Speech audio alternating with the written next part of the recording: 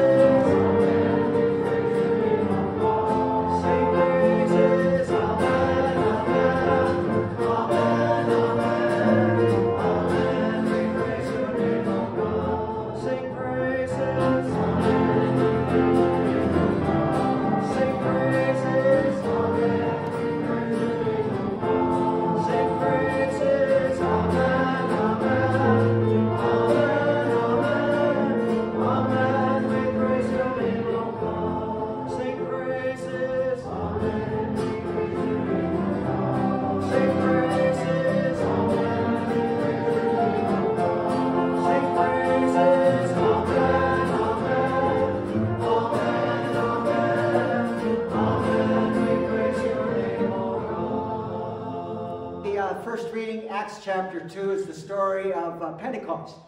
When the disciples were locked behind uh, closed doors, it uh, was Pentecost is 50 days, 50 days after Easter. And uh, they were still, seven weeks later, they were still locked behind closed doors. And then a sound like a rushing wind came on, and then cloves as of fire appeared onto their heads, and they were filled with the Holy Spirit and they spilled out into the street. And because people from all over were gathered into Jerusalem, they were speaking different languages. And these disciples, who didn't have a grade 8 education, if any education at all, they spilled out into the streets and began speaking in a language that they had never spoken before. And this is the story of the beginning of the Christian church. There's uh, two schools of thought here. Um, did the disciples suddenly receive this gift from the Holy Spirit and it changed them? Or did they have all of these wonderful gifts given to them by God and they were locked inside? And on this day, they were opened up and they spilled out into the streets with these gifts. I'm going to preach about the second of those two because I think this is a really important uh, understanding that we have.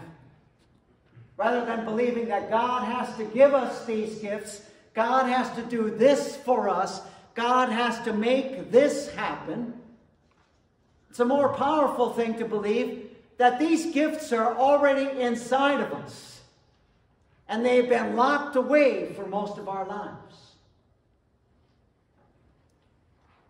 You can see uh, what happens with, uh, with children. And it even happened, I remember, with, uh, with Whitney. Uh, we'd be walking around, uh, when she was two years old, we'd be walking around our street, and every person she saw, even in the malls, she'd say hi to.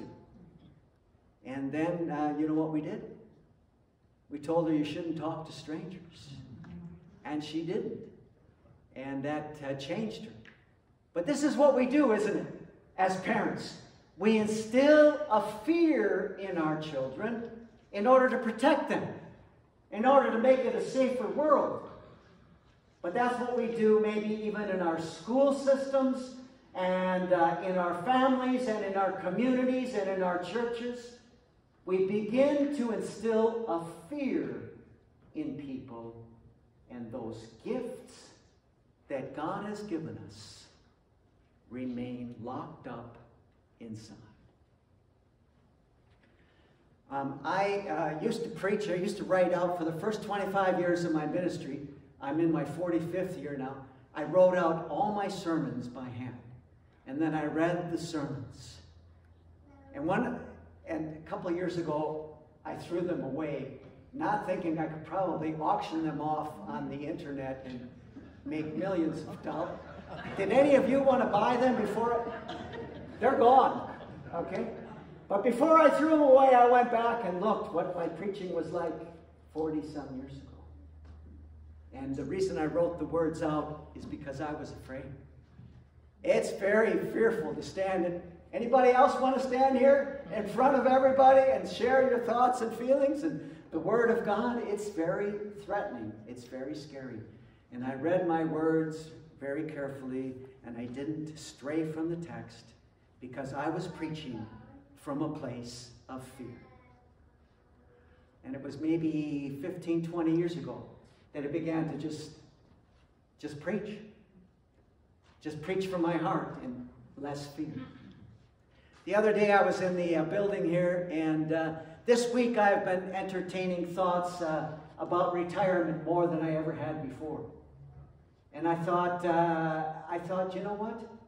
You still have that fear. 45 years later, you're still preaching from a place of fear. Maybe not as fearful as you used to be, but still from a place of fear. When are you not going to do that anymore? When are you going to have those gifts spill out into the streets and help to change people's lives? It's funny how things that you learned as a child, how to be fearful, and now I'm 71, and you still have that fear in your hearts. And I believe for most people, the gifts, the powerful gifts that God has given to us, remain locked inside because we're afraid of what other people are going to think. We're afraid of doing something outside of the norm, doing something different, being one of the reasons I came to Canada, okay, was not because Saskatchewan greatly appealed to me. it does now, but it didn't then. Was to get away from my family and the preconceived ideas they had for me and from the people that I knew in the church. It's time. It's time for us to let go of that fear, the fear that has been instilled in us. Don't be different. Conform. Do the things that, you've, that people have always done. Think the way that we've always thought and stay in this box that we have created for you. I have great fears about the future of the church. And, uh, and then, then I realized, you know what? That goes against what my strong belief is.